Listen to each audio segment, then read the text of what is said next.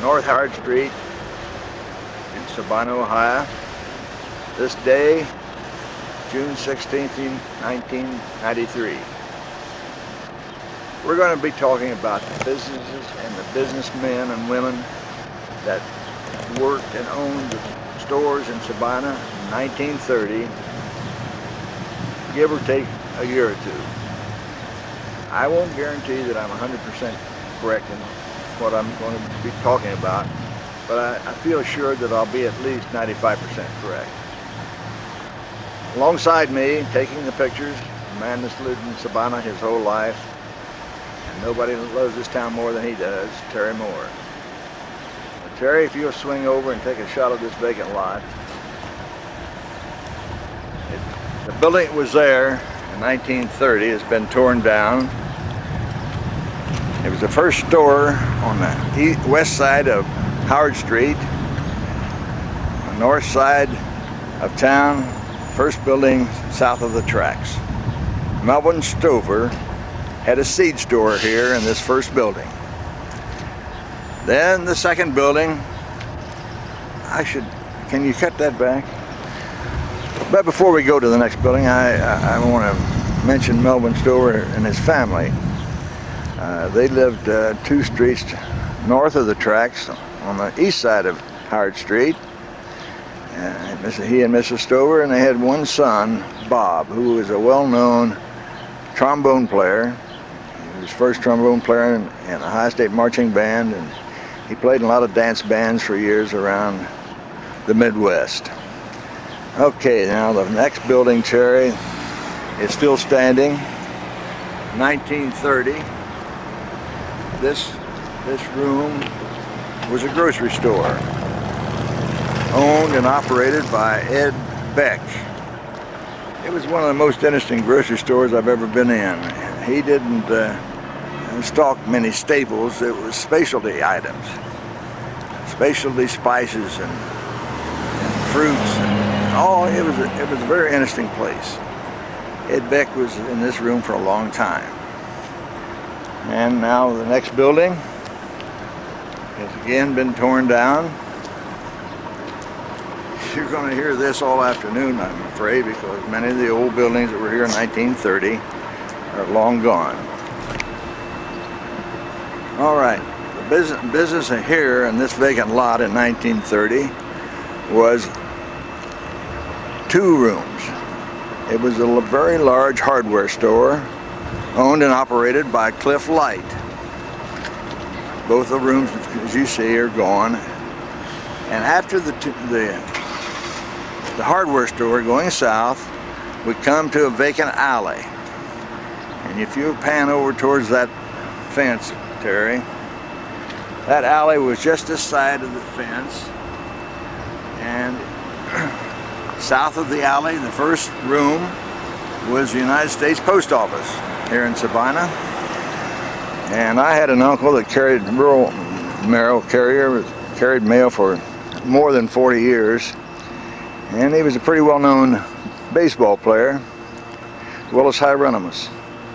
And when I was a little guy, about two or three times a summer, excuse me, he uh, offered me a new baseball if I'd be at the post office uh, when he got there. Well, he'd get there at 6 o'clock in the morning but I'd always be there at 5 o'clock in the morning waiting for him to come with that new baseball. The other well-known mail carriers of that day were Dale Adams and William Marsh. We'll go right on, Terry down adjacent to the, the post office. The next room was a restaurant, a small restaurant, uh, counter type, no tables, owned and operated by Harry Kahn. He, uh, he, I think, was in the food business someplace in Ohio his whole life. He was, he was elderly man at this time, but he had a knack of making the best homemade soups I've ever eaten. The next building after Harry Kahn, of course, this is all now blacktop, owned by Mac Tool. But the next room after Harry Kahn's restaurant was Frank Grove's drugstore. Now Frank was a great baseball fan and he had a real old-fashioned drugstore. I, I remember it very well. In his first showcase he had autographed baseballs by some of the, the greatest baseball players that ever played the game. Ty Cobb and Honus Wagner and Babe Ruth and all of them. And I've often wondered whatever happened to those baseballs that Frank Grove owned. After the uh, the drugstore, then of course I spent a lot of time in this next room. My dad had his International Harvester farm equipment store in this room and it's part of the, the vacant lot now and my dad was in business here in Sabina from 22 until he passed away in 54 the farm implement business. He was in this room I guess six or eight years maybe I don't recall. Right in this area here? Right here in this area right here. Just about due west of where you're looking right now. Next to that was a small home that stood back of the street sidewalk, maybe 20 feet. And a Mr. and Mrs. Heyer lived there. And they were in business uh, as used furniture dealers. And they lived and operated their business right in this little home uh, that went right up to the, the, the red building that stands today. they had a son, Lowell Heyer, and he was the first radio professional in, in Sabina. When radio come out in about 1923, he made his first radio sets, and of course everybody in town uh, would uh, go to his house and listen to the radio, and he made radios for people. And in later years, he became very professional in the repair of electronics. Years later, he moved to Wilmington, a little higher. Now this, this building is still standing. In 1930, it was a men's store on the first floor. Charlie Davis. Charlie was one of the characters of Sabina.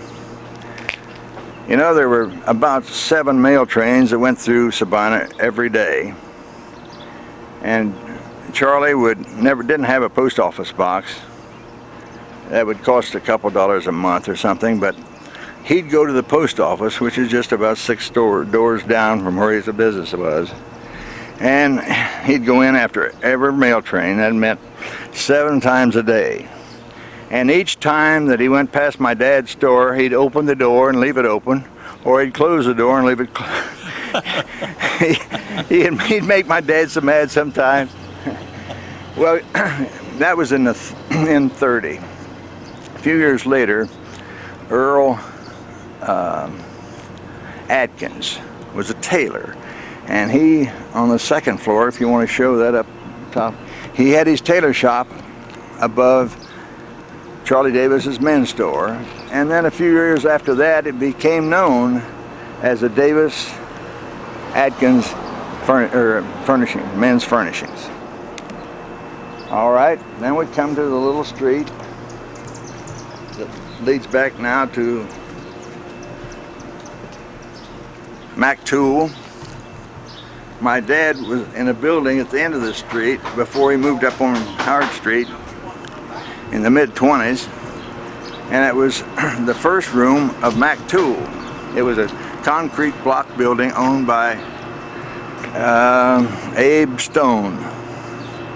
Abe owned the little building and rented it to my dad. And then when Mac Tool started, they they uh, rented from Abe Stone at that time. Of course, years later, they tore it down and built many new buildings. This next building is one of the pioneer families of Sabina. Uh, I don't recall too much in this of this business. It was going out of business in a few years when I was old enough to know what was going on. But it was for many, many years a men's store. Patty, Patsy Curran, B.J. Curran, And he died uh, sometime in the mid-20s. But his son Walter operated it as a man store in 1930 and, and a few years after that. But uh, this is a three-store building. Patsy Curran was well-known businessman around here in the late 19th century and the early 20th century. And uh, operated this maybe up until the mid-30s, and then he moved to Greenfield and become a, a known, well-known businessman down there. Lived down there uh, for many years. Benny, I'll just step out here and get a shot of this because okay. it's rare that you see a three-story building in this size community, okay? All right, sir, you go right ahead.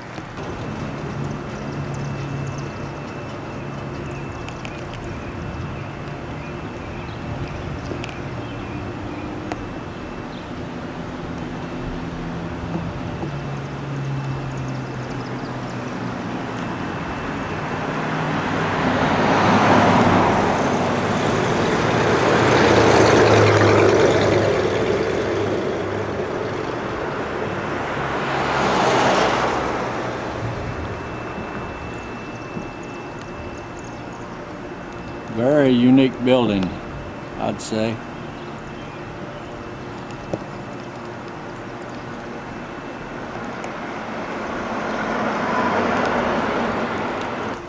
One of a kind, and he had a wonderful store. He sold the best men's suits that money could buy in those days, and uh, he was quite a merchandiser and a good citizen. Okay, the next room was one of my favorite room businesses uh, in Sabina. Of course, in 1930 there wasn't there there wasn't much uh, tractor power on the farms. Everything was being farmed by horses and horses, of course.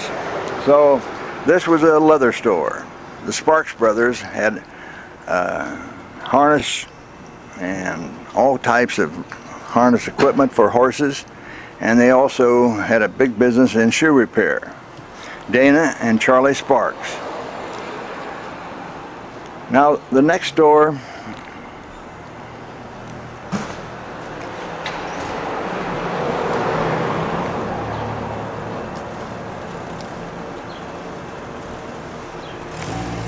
this room following Sparks's there was a, a, jewelry store in here and this is the one or two locations on Howard Street that I cannot recall the name. I'm sure some people, after they see this film, will will give us the name of the jewelry store here. Okay, Terry.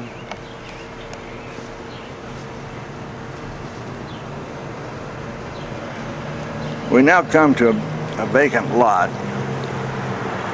but back in 1930, there was a lovely home in this site owned by George Maddox. George and Mrs. Maddox had one daughter, Carlene. They're all gone now. The home was lovely. It was one of the better homes I felt, but it, I guess, was hadn't been taken care of in recent years and had torn it down. This next building is one of the one of the two or three finest homes in Sabina. In 1930, it, Lou Robinson and his wife lived here. I don't recall who built it. Maybe they did, I don't know. Mrs. Robinson was, uh, was quite a lady. she never stepped out of her house in the summertime without her parasol and her white gloves. She was always dressed in the latest of fashions. And Lou, when Lou um, Robinson was a good friend of my dad's and he, he spent a lot of time just sitting around in my dad's store they were nice people. What did he do, Lou? Well, he came here from Cincinnati, Terry, and I don't know. I wish I did know. Never did know what he, they were re retired when I was oh. old enough to know. Okay. But uh, somebody will have that answer, I'm sure. The next door room was a very good one. It was one of the nicest bookstores in this part of the, of the southwestern Ohio. Howard Curtis run this drugstore. And he had a full line of school books and a full line of the bestsellers and just history and just about everything that a good bookstore would have, he had it. He, of course, is one of the sons of the, uh, of the pioneers of Sabina, the Haynes, uh, the Curtis family. Uh, Curtises and Hayneses, and there's several families that have been around Sabina for from almost uh, day one. This next storeroom was run by a well-known family. This is Clint Shoup's butcher shop. Clint uh, and his wife Blanche, they lived out on North Howard Street close to the Brooklyn Bridge. They had two, son, two children, Walter and Lucille. Walter was a well-known musician. He, uh, I expect, had an engagement uh, 300 days a year for his whole entire life. Mm. He was an excellent piano player and an excellent accordion player. A good, a good entertainer.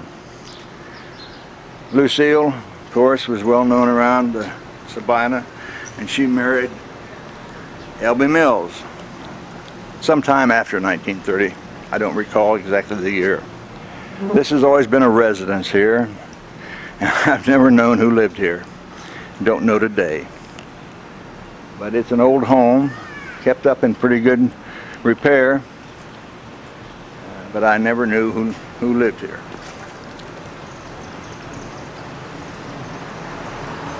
The first storeroom past the residence in 1930 was another restaurant run by Charlie Rockhold.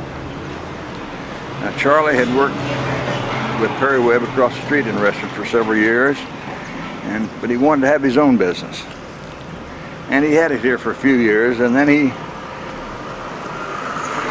was offered a position in Washington Court House as a manager of the Anderson restaurants, and he spent his whole life working over there until he passed away. I've eaten many a meal in here. Many, many, many times. The next room was one of our most more popular grocery stores. We had several. All of them very good. This was the Had Collett grocery store. Had had uh, a full line of groceries and he had, he had a knack of hiring good people. Many people around here today remembers Esto Rockhold. Esto Rockhold uh, worked for Had his, I think his whole life. He worked in the store and then he delivered groceries. People would come in and buy their groceries and have Esto or they'd call in and Esto would deliver them. The next door room after the Collett Grocery was the John Spurgeon Pharmacy. Spurgeon Pharmacy. It was uh, a drugstore for a long time. I don't recall who came here in the 50s, but somebody uh, was a pharmacist, maybe Terry knows. You remember Paul? Paul Downs? That's right. That's uh, in 30 it was uh, the Spurgeon Pharmacy. Now we come to a lot of vacant lots here and a new bank building and then from here to Okay, we got a lot of blacktop here now and a very large bank that wasn't here in 1930. Terry has just suggested that we move across the street so that you can get a better view. Maybe we should have started right from the first on uh, across the street, but we won't do that. We're not going to do that over. But if you'll pardon us for a minute, we're going to walk across the street and show you what's standing here now. We're going to start down there at the far end where we first started. And we're going to bring you right up to where we left off at. Give you the opportunity to see all the buildings that's standing today. And on the way up, we filled in, Beanie filled in with uh, vacant lots where there used to be businesses uh, several years ago. But we want to give you the view of downtown today as well.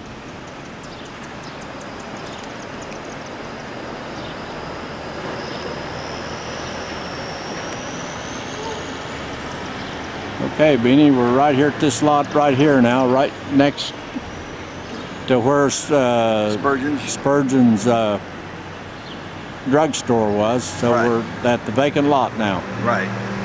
Okay. The first space, in the blacktop, there was a little house, a little home that stood back maybe 25 to 30 feet from the sidewalk, owned by the Pettiford family. And Mr. Pettiford was a black man, and he was a black barber. I would guess that in uh, 1930, maybe 20% of our population in Sabina were black people, and they were all great. We never had any racial problems. They were good, solid citizens. Pettiford family were well respected.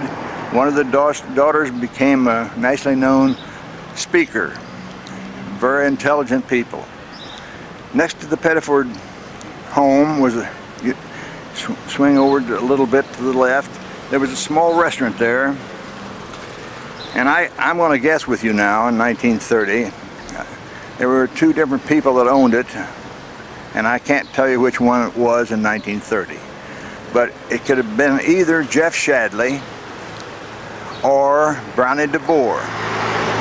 Jeff Shadley was the son of uh, Mr. and Mrs. Charlie Shadley, had a large family, and they were just uh, solid citizens. Brownie DeVore owned the movie here in Sabina from about 1919 or 20. Uh, and then he got out of that and, and had a restaurant here for a few years. And he later, he and his family moved to Detroit. Following uh, the little restaurant, about where that sign is, the Sabina Bank, uh, we had a another butcher, uh, Jess Sears and uh, I'm I'm incorrect, Terry. I'm incorrect. I'm wrong. Can we back up? You can't back this thing up, huh? Well, I'll just explain yeah, to you. that's all right. After after the little restaurant, it I, I was mistaken. The largest store in Sabina stood next to this little restaurant. It was E.A. Thornhill and Son. E.A. Thornhill had a very large department store and it later became uh, half of it my dad's business and half of it Kurt Rankin's restaurant. But in 1930 it was, it was Thornhill's department store. This might be something that many of you have not heard. Forrest and Mrs. Thornhill, no, I don't mean Forrest, E.A. and Mrs. Thornhill and their son Forrest in 1898 took their bicycles and bicycled to the, California. I think it took them almost a year. They come back by train, but I remember Forrest telling the story many, many times of bicycling to California. Now, after the Thornhill department store became Jess Sears Meat Market. Jess was uh, a butcher and uh, was around Sabina a long time. After the after the uh, the meat market, it came uh, the Sabina Bank. It only at that time it only took up about a, a fourth of what stands there today. But uh, George Gray was president of the bank at that time, and uh, it was a good little bank, and still is a very good bank. After the bank come an ice cream parlor. John Alferis had an ice cream parlor.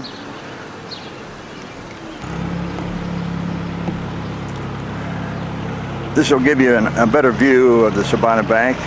The brick wall that you're seeing now was uh, the front of the bank in the 1930s. Then where the glass front is now was the ice cream parlor. They had the, the little ice cream tables and chair, white chairs, and, and they made wonderful ice cream. The next room was the last. Okay, Terry, uh, here on the corner, uh, it's the last building on Howard Street before you get to Elm, was a grocery store at least 60 years that I'm sure of, and maybe 75. Howard Martin was in here in the 30s and 40s, and uh, about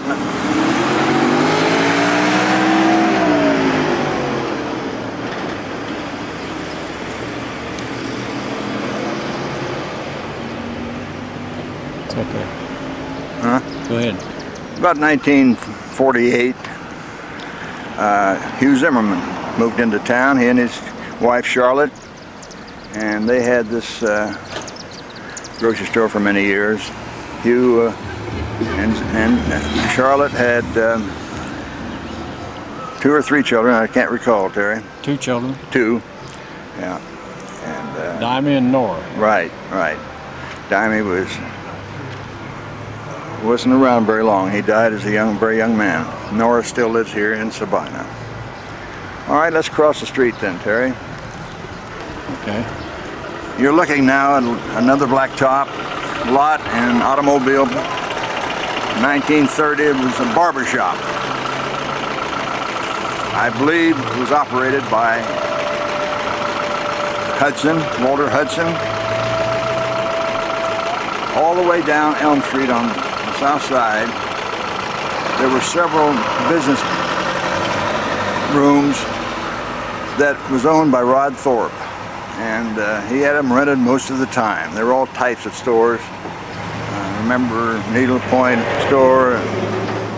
I don't recall all Creamery of station. them. Kramer Station was to the left Yeah.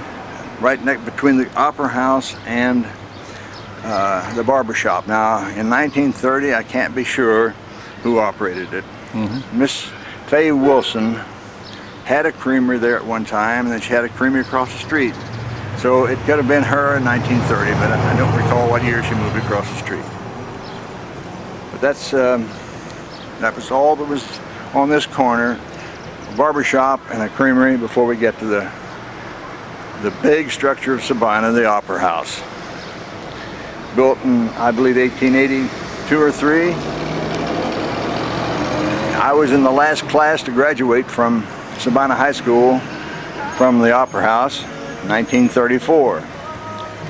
I recall from about 1928 to 34 uh, of seeing several vaudeville shows here, but nothing like my parents' seen here because a, a good show that would go to Cincinnati and play a- a undetermined number of nights, maybe one or maybe three weeks. Normally, when they were through in Cincinnati, they would go to Columbus and open the same show in Columbus. And the natural way to go is right, from through Sabina, the old 3C highway. And of course, it was all horse and wagons. It would take them a day to get here and they'd stay at the Rap House that night and put on a show here at the Opera House. Some of the greatest entertainers the turn of the century played in this this opera house. Before my day, but